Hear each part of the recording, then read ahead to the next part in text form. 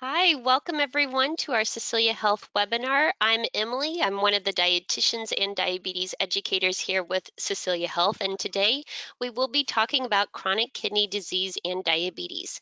Um, here at the very bottom of the screen, there is a phone number, 1-800, Marcia, could you go back one? There you go, thank you. 1-800-263-6317. If you're having any difficulties, please check that out that number, but thank you again for joining us today.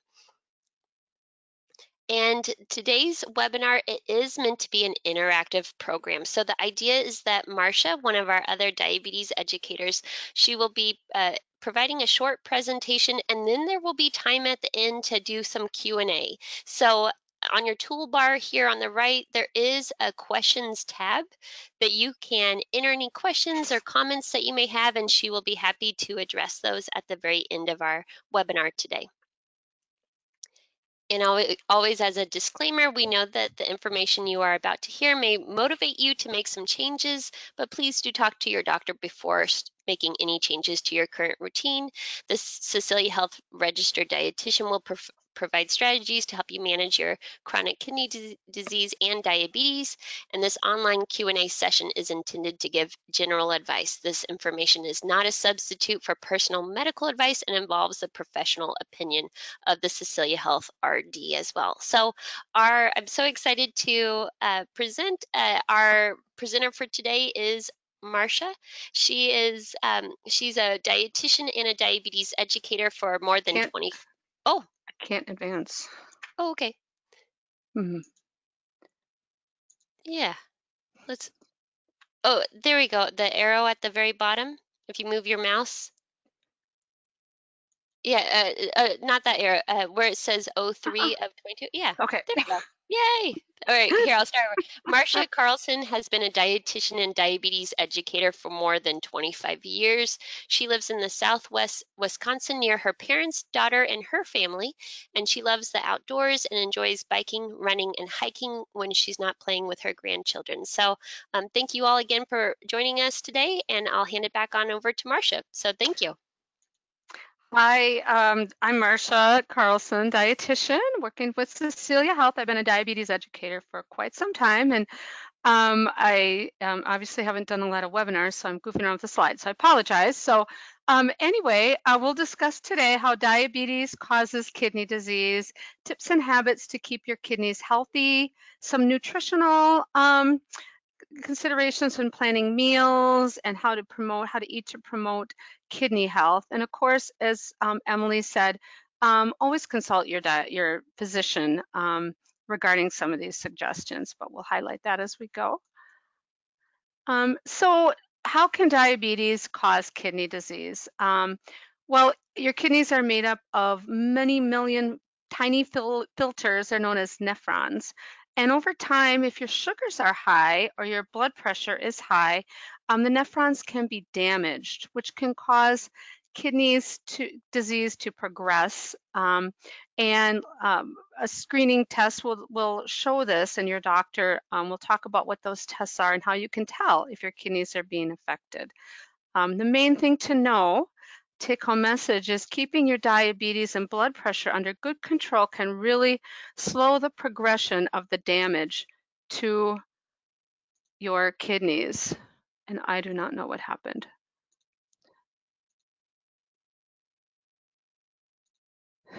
Oh, uh, do you want me to pull it up? Let me pull yeah. it up on my screen then. All right, one moment here. It got lost. Right. All right. Oop. You're great. All right. I'm going to switch it over to me.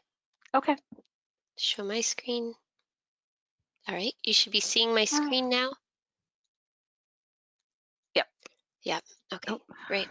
Nope, Emily, I do not see it. You do not see it. Okay. Let me. Yes. Nope, that's back to you. So this should be back to me. Show my screen. Okay. I don't see the I don't see the webinar. Okay. Well, here, why don't we, um, let's see here. um, why why don't I go ahead and take over right okay. now while you're while you're doing that, and then you let me know. Okay. Okay. So, um, so like Marcia was saying, that the kidneys themselves are meant to help with the filtering um, overall. And we that's so important. Um, we know that for a chronic kidney disease, diabetes and high blood pressure are two things that can really play a role in terms of the progression of that kidney disease. So that's why we are uh, talking about it today and just kind of connecting the dots between that as well. Okay, so, got it. Okay. Yep. Do you want me? Okay. Let me go ahead and change it back to you then. Okay. All right, and it, you should be given access. All right, and we're looking at your main screen right there. No, you. I had it when you were doing. All right, I'll, I'll switch back over. Okay. Okay. Um, okay. So. Oh, okay, there we go. Yeah. Yes. Pre-diabetes and kidney disease. If you have pre-diabetes, don't no. Just can you leave it like it is? Oh, do you want to just read off of mine? Yes. Yep. Yep. Okay, let's do that then. There you go. Okay, okay yeah. I'm so sorry, folks. Technical difficulties. It's no, that. Yeah. Okay, if you have prediabetes, really taking action to prevent your type 2 diabetes is an important part of preventing kidney disease. Um, it, studies have shown that just by losing a moderate amount of weight, um, which can be only 10 to 14 pounds, can eat by eating healthier and getting adequate physical activity. Um, 150 minutes each week or 30 minutes on most days can really prevent um, prediabetes uh, from developing diabetes and damaging your kidneys. Um, next slide. Next. Ah, thanks you. So keep diabetes in control and your kidneys healthy. As I mentioned, these is kind of the ABCs I like to think of it, where an A1C um, test is a blood test that your doctor will do just to make um, kind of an average blood sugar test, and that should be done at least twice a year, um, just to tell where your overall diabetes control is. Um, the B is your blood pressure. Uh, you want to keep it below 130 over 80 or the target that your doctor set. Um, and then your, your C is your cholesterol, and your doctor will test that. Um, it's very common for people with diabetes to have high blood pressure and higher cholesterol levels, so it's important that you remember to know those numbers. And additionally, um, they will test a kidney function test um, and an EGFR that looks for protein in your urine um, and your rate of filtration, which will show us overall how your kidneys are functioning to clear your blood. Next. So what um, habits can promote kidney health? Um, you want to eat a healthy diet, um, be physically active, as I said, take all the medicines as prescribed by your doctor, and keep good tabs on your blood sugar and your blood pressure. And again, communicate anything that looks out of range to your doctor. Um, planning meals. Um, you want to eat enough, but not too much. So that's balancing, you know, how much, um, how many calories you're eating, how many meals you're eating in your snacks with your, with your, um, your Cecelia Health Coach. Um, protein is a nutrient that you want to make sure you get about six to eight ounces of lean protein. And again, that depends on, you know, your age and how big you are. Um, your kidneys do remove byproducts of protein, so it's really important to um, discuss with your doctor how much protein is right for you um, before embarking on any high or low protein diets. Sodium is a nutrient that's really important for your blood pressure and kidney health. Um, limiting to a teaspoon a day or 2,300 milligrams. Um, too much sodium can lead to high blood pressure, fluid retention, um, and it's also linked to heart disease. So really focusing on sodium um, is very important. Um, potassium is in fruits and vegetables. It functions um, to regulate our heart. Um, so uh, it's regulated in pretty tight control within our body. Um, sometimes if your kidneys aren't working well enough, they may ask you to limit some of the potassium that you eat. But again, consult your physician for those recommendations. Uh, phosphorus found in processed foods, fast food, cola drinks, chocolate, beer, um, also in some protein foods. Again, your kidneys will keep the right amount of phosphorus in your body. Um, when you get to the later stages of kidney disease, um, your doctor may ask you to um, count or control the amount of phosphorus that you're eating, but always consult your practitioner first. Next slide. Um, healthy eating, healthy choices for diabetes and kidney disease. Um, very much the same in a lot of ways. Um, eating lots of fruits and vegetables, um, eating whole grains, focusing on homemade foods, limiting restaurant foods, processed foods, um, cutting back on added salts, added sugars, choosing healthy fats. Um, in general, eating fewer refined carbohydrates, which are sweets, added sugar, is a good um, recommendation for really every healthy American, but particularly with diabetes um, and, and kidney disease. You may be asked again to reduce some of the potassium, phosphorus, protein, or sodium by your doctor, but always consult your doctor on those recommendations. Next. Um, herbs and spices, adding to re, um, replacing your salt. There's a chart here of some things that you can use um, to really replace the salt and cutting back um, without adding other flavor into your foods might be a little bland at first, but um, once you uh, experiment with some of these things, you'll find you don't even miss the added salt in your food. And most of the sodium we do get um, is not added at the table. It's added in cooking. It's added in food processing. So um, paying attention to that is very important. Next. Foods to limit um, or avoid to promote kidney health. So in general, you'll see these things are um, high in sodium, saturated fat, calories. Um, they may contain a lot of phosphorus or potassium.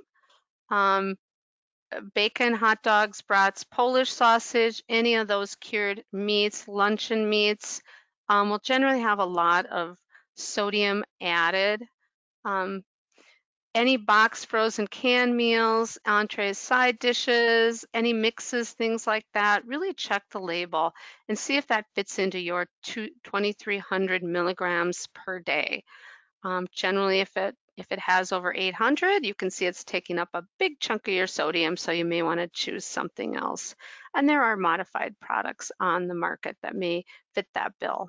Um, so examples a person um, diabetes can eat, diabetes and CKD, really proteins, again, lean meats, poultry, fish, eggs, unsalted seafoods, um, that quantities, six to eight ounces a day, really spreading those out throughout the day is how our body uses our protein most efficiently. Um, and keeps helps keep your blood sugar uh, more stable throughout the day. Uh, vegetables listed here, some lower potassium vegetables.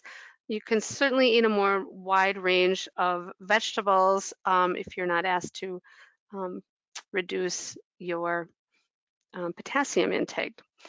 You want to choose whole grain breads and crackers, um, starchy vegetables to get fiber, again, a variety of fruits, Choo choosing unsaturated fats like canola oil, olive oil, avocado oil, um, and then, you know, drinking um, unsweetened beverages or clear diet sodas, the dark um, caramelizing that they use in um, Pepsi or Coke type products does um, contain more phosphorus. So what's a portion? Um, fruits, a small piece of fruit, um, half a banana, a cup of melon or berries, a tablespoon of two tablespoons of dried fruit. You'll see a half cup of juice. I typically juice, it's not giving you much fiber, it's not filling you up, it's very available carbohydrate. Um, typically really minimize that and choose to drink water and eat your fruits. Um, dairy, um, cup of, you know, cup of milk or yogurt, um, size for a dairy serving, and then starches, um, half a cup to a cup. Um, you'll see a third of a cup of rice or pasta. So, you know, if you're eating rice or pasta, you want to make sure you're you're um, you're cognizant of that serving and really thinking about that plate method, putting that uh, carbohydrate food in the quarter of your plate, your proteins in a quarter of your plate and then your other foods on the other half of your plate. So you do get more of those non-starchy vegetables and fruits. Um, protein, again, um, servings two to three ounces, spreading that out throughout the day. A little protein at breakfast really helps stabilize your blood sugars in the morning and prevents you getting hungry about an hour after eating breakfast.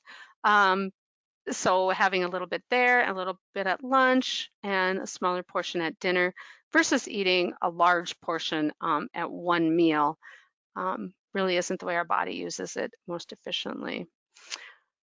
Meal planning. Um, portions here just kind of shows you how the plate again, as I was saying, half of your plate fruits and vegetables, the protein and the starches, um, kind of dividing up your plate is an easy way to visualize that. Um, for more information, um, you want to look to the Kidney uh, Foundation, www.kidney.org. Um, the American Kidney Fund has really, they have really good suggestions. They have recipes, cookbooks you can send for, and resources there. Um, the American Diabetes Association has a lot of information. Um, their Food Hub has um, recipes, meal planning, um, and again, um, webinars such as this one, sponsored by Cecelia Health, provide more information. You, there are many topics that have been posted on our website um, that you may watch um, in from past issues. So I just want to um, make sure that I answer any questions. Are there any questions out there? Marcia, it looks uh, one one question is uh, like Yes. how how often to you know do do a checkup with a doctor in terms of if you have diabetes, Mhm. how often should they be checking your kidneys? Yeah, great. Thank you, Emily. So um, that how, so that's a great question. If your kidney function is healthy, generally once a year is fine. But if it seems like your kidney function is declining, then you may want to do that more than once a year. Um, encourage you next time you do go to your doctor, ask your provider um, what your kidney function tests are if you don't already know. And again, that test is an G EGFR or a urine albumin creatinine ratio. Um, and, and keep track of those so you can um, monitor that. But that's a great question. And it looks like the other question we have is how how should I bring up to my doctor about, you know, if I need to be limiting anything with my diet, uh, either with the Mm. diabetes or CKD? Mm-hmm. Mm-hmm. Yeah, that's a great question to have with your doctor. And again, those lab tests are crucial. If you're checking your blood sugars, you need to bring those to your appointments and talk to your doctor about what that means, what stage of kidney disease um, you do have, um, and what you can do to keep your kidneys from progressing. Um, so your doctor may um, give you specific recommendations based on those lab tests. They may also do other tests um, to determine potassium levels um, and such and your blood pressure to determine those numbers. But that's a great question. Thanks. Well, uh, thank you so much, Marcia, for presenting today and for covering all that information. Uh, like she said, we do have, if you're looking for something more specific or more detailed in terms of with the diabetes or CKD, please do check out the Cecelia Health website as well. We do have some webinars coming up here in December and in January as well. Here in December, we have management of CKD and also taking control where you're just kind of tips and tricks um, with looking at the diabetes. And here in January, our, uh, we have just basics of CKD and January is all about um, setting New Year's resolutions focused on the diabetes as well. You can always check us out on our Facebook page, or please do talk to your Cecelia Health dietitian or nurse that you are working with as well. We want to make sure that we are covering the topics that are important to you, but thank you all again for your time today and have a great rest of your day. Thank you. Bye-bye.